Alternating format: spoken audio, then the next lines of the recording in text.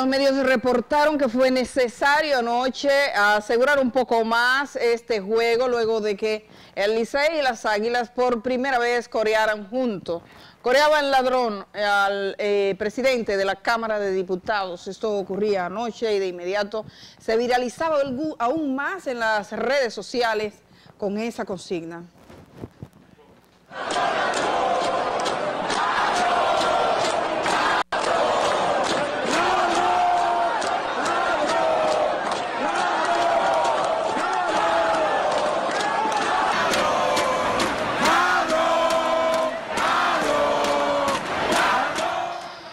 Esto ocurre después que un fanático fuera arrestado cuando salía de un juego después de haber llamado corrupto al presidente de la Cámara de Diputados. Fue conducido, arrestado a un destacamento. Posteriormente, el presidente de la Cámara de Diputados dio una entrevista, dijo que él no tenía nada que ver con su arresto, que eso eran las autoridades deportivas que también lo negaron. Pero ayer él estuvo en este programa, Máximo Cordero contaba aquí en la cosa como es, que fue arrestado y fue llevado al destacamento La 40 de Cristo Rey y que ya se presentaron los miembros de la seguridad de Camacho, los que él vio vestidos de civil junto a Camacho, reclamando por qué no le habían quitado los cordones todavía, por qué le permitían una llamada telefónica y por qué no estaba en la celda. De inmediato los policías le quitaron los cordones y le entraron a una celda donde amaneció. Esa entrevista completa, ahí la tienen, la ven en, mi canal de YouTube. ¿Pueden subir un poquito para que la gente escuche?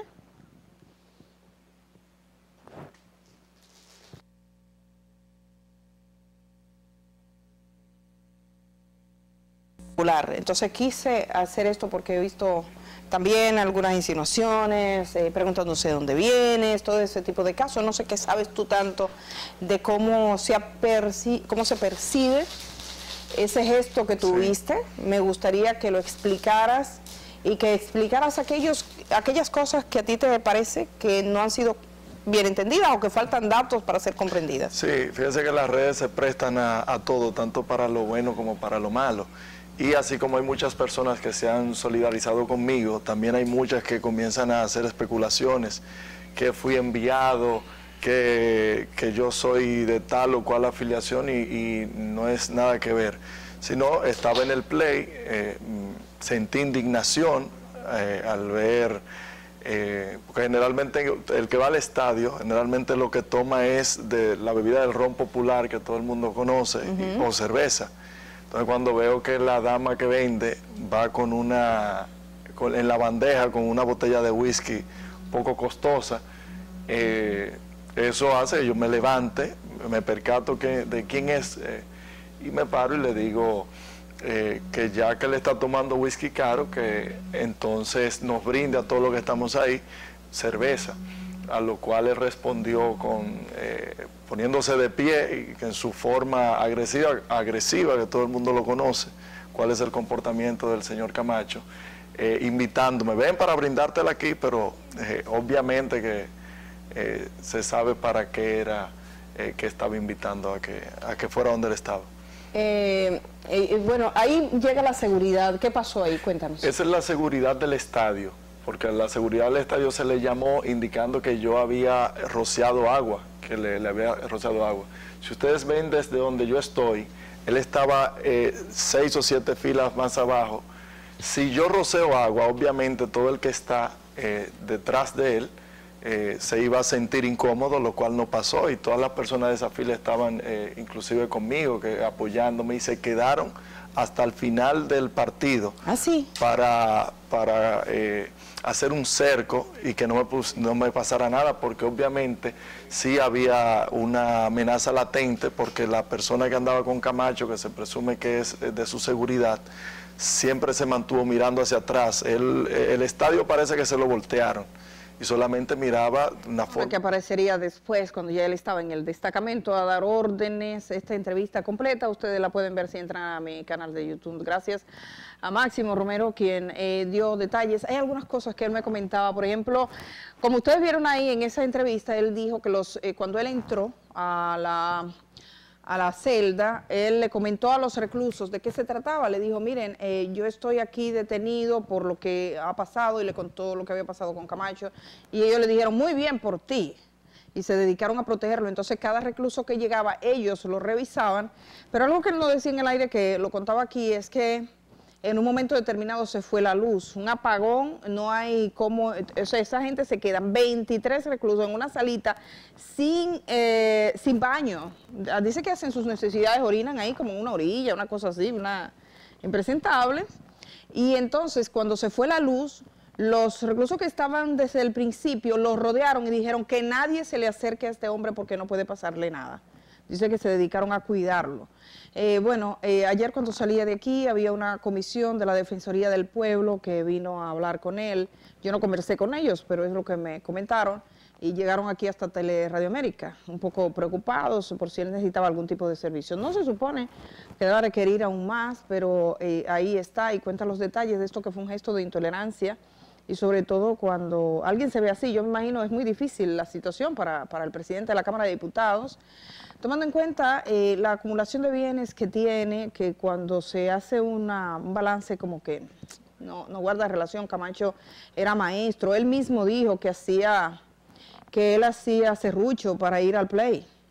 Y, bueno, si bien eh, supongamos que hay una lotería que uno no se enteró que se sacara, que puede ser y que no no cuestionas, pero nos habla de una situación que se da en la política.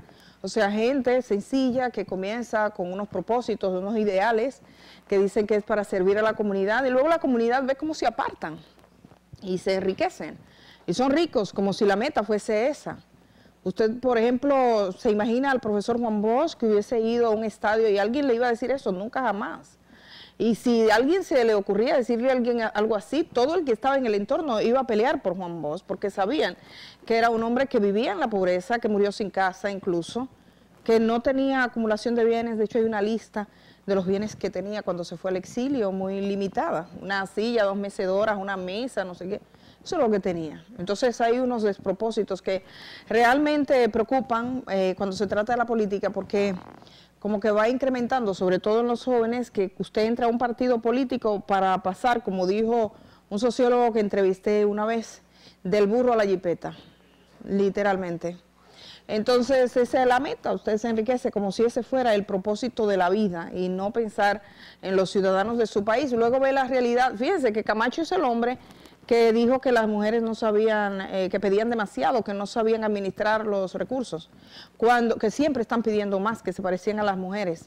Cuando en nuestro país ustedes saben que las mujeres básicamente son administradoras de miserias, porque son las madres, las abuelas, las tías, las que tienen que incrementar ese pequeño salario que tienen o ese dinerito que se ganan friendo yanique, que es para alimentar a sus hijos. Ese mismo joven que estaba ahí dijo, yo soy uno de cuatro hermanos y me crió mi mamá, mi mamá trabajando. Así hay mucha gente en el país. Lo que pasa también que a las mujeres se le ha hecho la más perversa de las prensas en este país. Y la gente habla con una ligereza diciendo, ay, que son unas chapeadoras, ¿no? Chapeadoras serán las que usted conoce, cinco o cuatro, de las que usted se rodea. Pero la mayoría de las mujeres en este país lo que hacen es trabajar y a esas mujeres fue que cuestionó también Camacho. Pero bueno, dije que iba a poner la grabación de Camacho completa. No sé si tendré esa posibilidad porque, bueno, tenemos el reportaje de Nuria Piera y es importante que lo tengamos hoy. Eh, pero sí lo vamos a poner eh, en estos días, bueno, eh, es un día de mucho, de mucho movimiento informativo y creo que merece la pena que le veamos en su, en su, completo. También el reportaje que hizo Nuria Piera porque ella penetra a la declaración jurada de bienes donde él básicamente daba recursos, por ejemplo, pero no decía dónde se encontraba, en una oficina que usted no tenía ninguna posibilidad de verificar que esa información fuera cierta. Algo que cuestiona, por supuesto, la labor de la Cámara de Cuentas, que se supone está habilitada ya por ley para verificar lo que ahí se dice. Aquí hay la posibilidad de que un funcionario que entra como ministro, por ejemplo, como presidente de la Cámara o como diputado o senador, ponga en la declaración jurada de bienes no lo que tiene, sino lo que piensa acumular porque nadie verifica eso, obviamente. Y bueno, yo les había prometido para este día además de, agradecerles la atención que siempre nos prestan y a los que están atentos desde primera hora de la mañana. Ahorita le presentábamos el canal donde se pueden suscribir a esa gente que está a través de Tele Radio América o las que están fuera de nuestro país o en cualquier parte y que nos ven a través de nuestro canal de YouTube y se suscriben. Les había prometido en redes sociales donde puse algunos detalles que hoy vamos a tener aquí a Julio Cordero. Julio Cordero es un eh, político, eh, lo conozco desde hace tiempo, Julio, porque fue como si fuera vecino mío cuando yo trabajaba en, la, en la radio trabajando en Fidelity, bueno, pues él tenía, terminaba el programa nuestro, el mío de Amelia, y comenzaba él su programa con la doctora Milagros Ortiz Voz. Y antes que eso, cuando yo trabajé en la Z, cuando doña Milagros comenzó aquel programa, desde entonces estoy eh, viendo a Julio que es afanado, trabajando, produciendo su programa, acompañando a doña Milagros. Ella lo describe como un hijo, ella dice, además de Basanta, eh, Julio es para mí cual si fuese un hijo. Él sufrió un atentado, él sufrió un atentado, unos, una unidad motorizada pasó frente a su residencia en el Polvorín, le disparan al vehículo. Yo tengo esas imágenes, quiero que por favor las pongan. Cuando disparan, posteriormente aparece un hombre que recoge los casquillos. Vamos a escuchar lo que dice la persona que está grabando.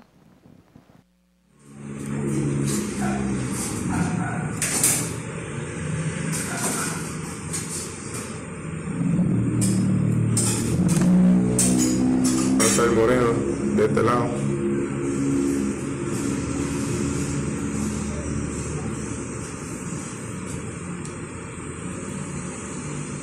Señor director, vamos a repetir de nuevo las imágenes para que la gente capte el momento en el que se produce el disparo. Quien está eh, al lado del vehículo de Julio no es Julio. Julio estaba dentro de la casa, había entrado justo en ese momento.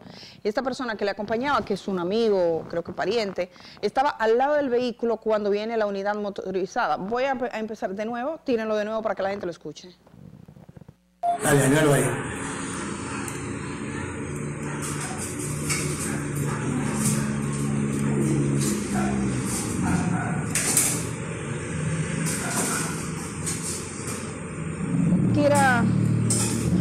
Cualquiera, cualquiera podría pensar que la persona cae herida, pero fue que él por el, eh, el terror hizo así y se tiró cual si estuviese herido, impactado. Pareció que estaba impactado, pero realmente no resultó lesionado. Eh, posteriormente, ese video dura unos eh, dos minutos y medio, no lo voy a poner entero, pero se ve cuando viene un hombre y recoge los casquillos. O sea, alguien recogió los casquillos, lo cual dificulta aún más la investigación. Julio Romero eh, se había comprometido conmigo a estar aquí a esta hora, yo lo dije en mis redes sociales, pero, eh, digo Julio Cordero, Julio Cordero, eh, Romero es el chico. se había comprometido conmigo a estar acá, pero él tiene ahora una gestión que hacer. Bueno, cuando la gente le pasa estas cosas, surgen eh, cuestiones a cada momento porque hay un proceso en marcha y me ha prometido que posteriormente vamos a replantear esa entrevista, así que le dije, bueno, estate tranquilo, no pasa nada. Lo primero es que atiendas tus asuntos y luego se lo contamos a la ciudadanía, sobre todo para que sepan cómo va y para aquellos que estén interesados en, su situación y particularmente en esto que es un estilo sicariato. Así lo denunciaba la doctora Milagros Ortiz Vos ayer al pedir una investigación de esto que ocurría con un miembro de su equipo que no ha tenido nunca problemas con nadie, no ha sido amenazado. Así que ya llegará la oportunidad de escuchar a Julio aquí en este programa. Le deseo que esto se supere, obviamente para los quienes le conocemos y le hemos visto toda la vida trabajando sin conflicto. Es una sorpresa y de verdad quisiéramos que esto no fuese más y que las autoridades pudiesen determinar qué fue verdaderamente lo que pasó. Y bueno, finalmente en esta parte aquí entrando, decirles que anoche fui a visitar a los eh, que están apostados frente al Palacio Nacional. Yo estuve en una actividad de Oxfam, de la cual vamos a hablar hoy, porque era eh, eh, la publicación de un informe sobre la forma en que se maneja el presupuesto en nuestro país. Y cuando salí de ahí dije, bueno, estaba en la Universidad Autónoma, déjame llegar ahí, que están frente al Palacio. Ellos están en el patio de las oficinas gubernamentales, que está en la doctor, eh, ¿cómo se llama esta? En la, en la doctor Delgado, esquina México. Cuando llego, eh, venía una periodista que estaba consternada un poco, ella me dijo, ay Edith, acabo de hablar con el doctor Cruz y Miniani me ha dicho que lo que ha encontrado ahí es una bomba de tiempo. Hay personas que tienen un estado de presión arterial muy, muy alta, hay gente diabética, hay gente con enfermedades de base. Para que tengan una idea, hay gente que supera los 70 años, hay un señor que tiene 76 años y ese hombre vino caminando desde el Ceibo durante más de cinco días hasta Santo Domingo. Pero cuando llega, después de una caminata así, con los pies hinchados, lo que se queden es ahí, a la intemperie, esa gente no tiene dónde ir. Y entonces me dijo que incluso eh, le dijo que había la posibilidad de que alguna de esas personas falleciera si no es atendida. Tengo entendido que en el día de hoy se va a dar una asistencia médica individualizada. Él les dijo que pararan eso ya, que se fueran, pero ellos dijeron que no que ellos no les importa que si tienen que morir ellos mueren, pero que ellos se van a quedar ahí hasta que logren su objetivo. ¿Cuál es el objetivo de esta gente? Esta es gente, y es bueno decírselo a todos, no, es, no son campesinos que están reclamando tierra, que dicen un día, vamos a organizarnos para que nos den tierra, no. Es gente que tuvo sus tierras, que el doctor Joaquín Balaguer hizo un asentamiento en una comunidad más próxima a Miches que al municipio Seibo. Es una comunidad de territorios inhóspitos, de difícil acceso y además, digamos que eso era montes cuando ellos llegaron ahí. Comenzaron a trabajar esa tierra, ahí tenían vacas, tenían eh, su, bueno, su ganadería, tenían siembras de cultivos, de hecho hay algunas imágenes donde se ven que le destruyen sus casas, destruyen sus cultivos y se llevan sus animales. Eso lo hizo un ciudadano que llegó diciendo que tenía títulos de esa tierra y que llegó sospechosamente, custodiado incluso por miembros de la policía. Tengo entendido que hay un sargento de la policía que le paga a este pueblo, que cuando esa gente venía en caminata, él iba en el camino dándole reporte a ese ciudadano de lo que hacía esta gente, para que tengan una idea. Eso es un caldo de cultivo para una tragedia, obviamente. Yo escribí algo en Twitter y decía que eh, siempre aquí el tema de la tierra es un tema delicado. Yo cuando recibo gente que viene a decirme de una tierra, eso es lo más complicado porque yo, yo me pierdo. Yo puedo, hay conflictos que tú puedes entenderlo más, pero aquí como no hay seguridad de los documentos, te presentan un documento, te presentan un título y tú no sabes si es falso, si es verdadero, y me pierdo en todo eso, y eso pasa, sobre todo en lugares donde no hay una autoridad como árbitro. En el Seibo ha pasado. Lo que falta ahí es una autoridad que vaya y diga, vamos a ver, estas son las tierras, estas tierras son las que el doctor Joaquín Balaguer, mediante decreto que sigue vigente, estableció para este asentamiento, esta tierra le pertenece a usted, esta, usted, esta, usted. Que haga eso un árbitro.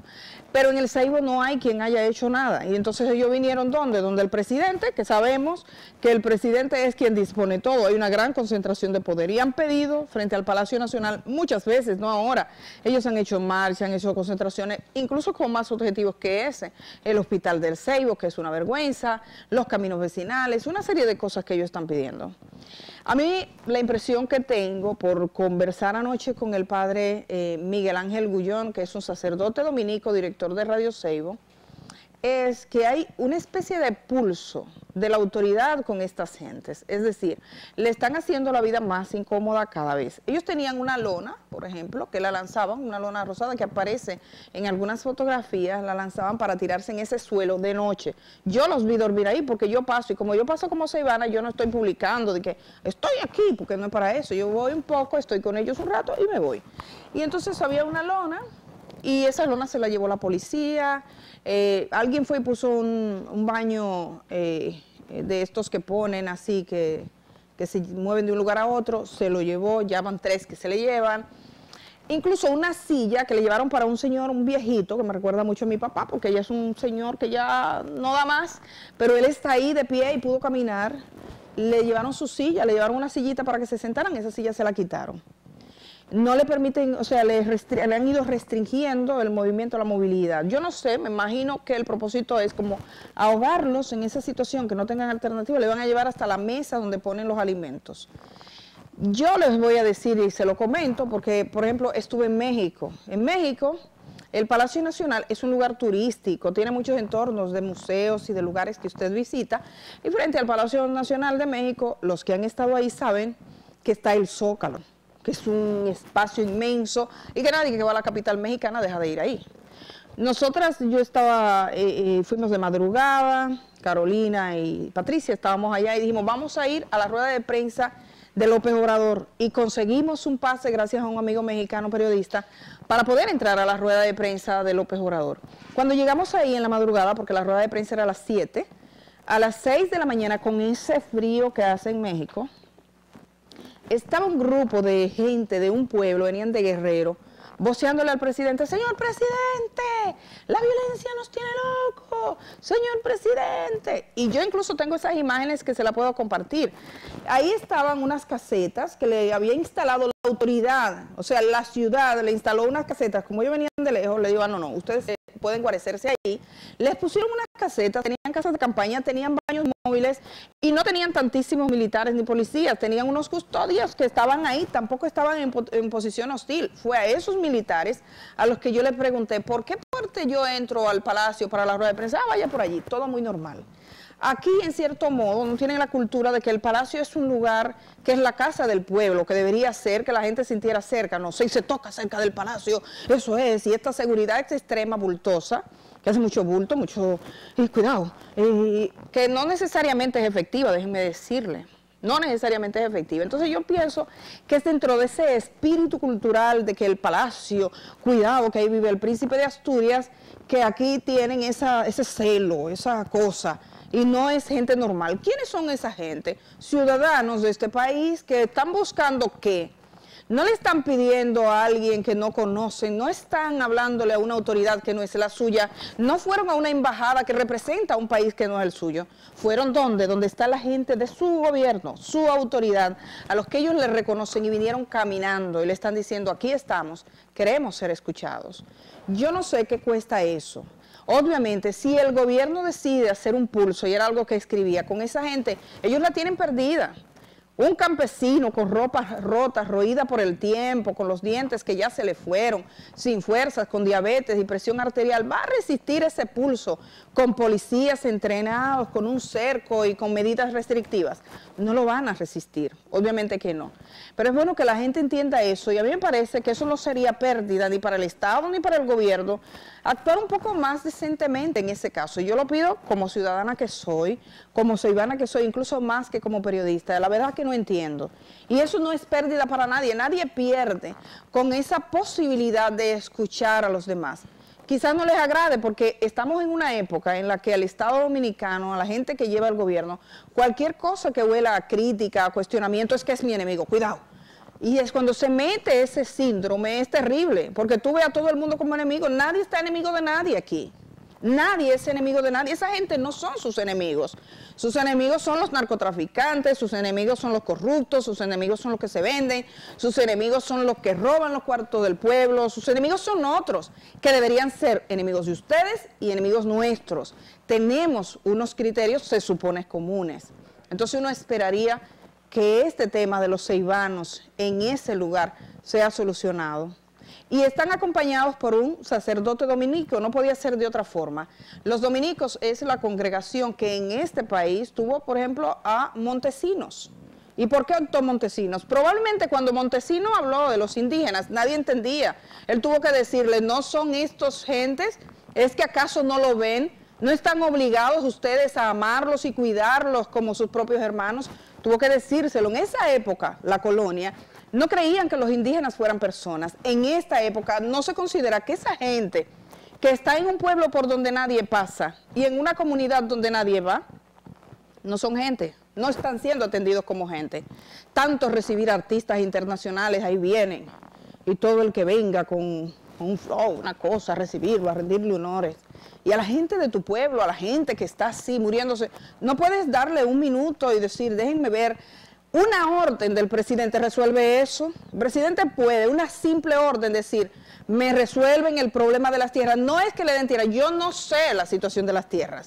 No me toca a mí delimitarlo, le toca a quien, al Estado Dominicano y al Estado Dominicano asumir de forma responsable, coherente, seria y entendiendo que está frente a un problema, la situación de esta gente no se pide más a cualquiera, supongo yo, esto le parece lógico.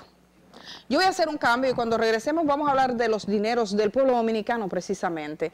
Vamos a hablar con la gente de Oxfam, ha estudiado el presupuesto. Ellos le han dicho es casi como un análisis forense. Cuando usted coge un muerto y verifica a ver qué fue lo que pasó. Asimismo cogieron el presupuesto.